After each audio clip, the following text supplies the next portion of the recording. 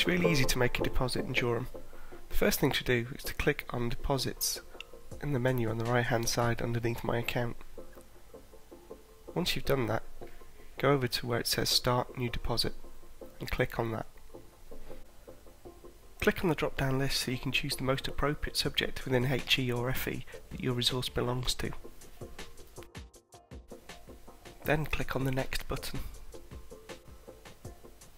On the next screen you have to choose whether you want to upload a file or link to an existing website. If you want to link to a website, make sure that the web link radio button is checked and then click on Next. Then add the address of the website into the box. Once you're finished, click Next again. If you'd rather upload a file, make sure the File radio button is checked, then click on Next.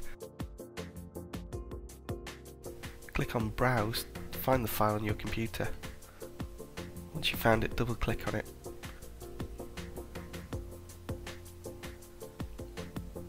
And then click on Upload and file another to add that to your resource. You can click on Browse multiple times to upload other files. If you decide that you made a mistake in one of your uploads, what you need to do is click on the little checkbox next to the file name and then choose Remove Selected File. When you're finished, click Next. The next stage is describing your resource so that people can discover it more easily. The first thing to do is give it a title. This shouldn't be the name of the file, but should be something prominent, which gives people an idea of what the resource is about. Next, write a brief description of your resource so that people can judge its suitability for them. The description should be full of relevant keywords so that your resource appears in the search results when anybody searches for those words.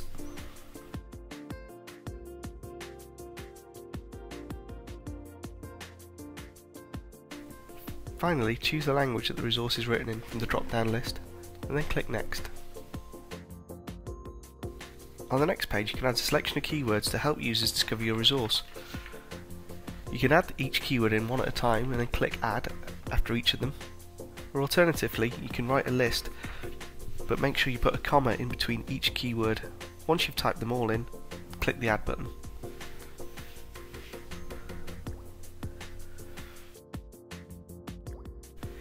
Can also add a resource duration, which normally only applies to media resources like videos and podcasts, where it may be useful for a user to have an idea of how long it will take to view or listen to. Add the date the resource was created by clicking in the box and using the drop-down calendar. The date is helpful to users who want to know how current a resource is. Next add the authors. The authors are the individuals who created the resource including writers, editors and photographers. Add each name individually and then click add after each one.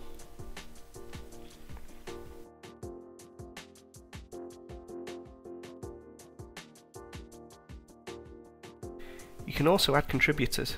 A contributor is an entity responsible for making contributions to the resource, so examples could include faculties or libraries which exist within an institution.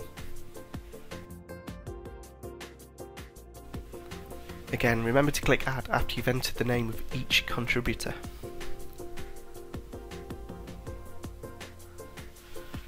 Finally, the publisher is the field for capturing the institution or organisation associated with the resource. If you start typing in the box, a drop-down list will appear and you should choose the most appropriate name from the list. If your institution isn't here, please contact us using our support pages.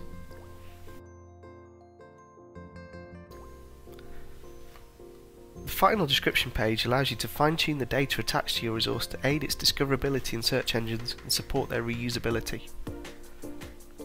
All the options on this page are pretty self-explanatory, and all of them are optional, apart from the learning resource type which is mandatory.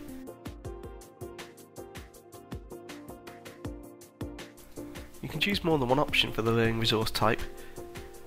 Click on the first option, and then scroll down the list. If you hold down the control key on Windows or Linux, or the command key on Mac OS X, you can then click on another option.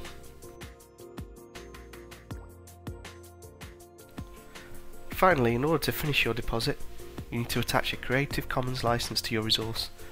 If you're unsure what this means and need more information, there is plenty of guidance within the Jorum support pages. Choose Creative Commons from the drop-down menu underneath license type, and then check the radio buttons next to the most appropriate options for your resource. Then click on Complete Deposit.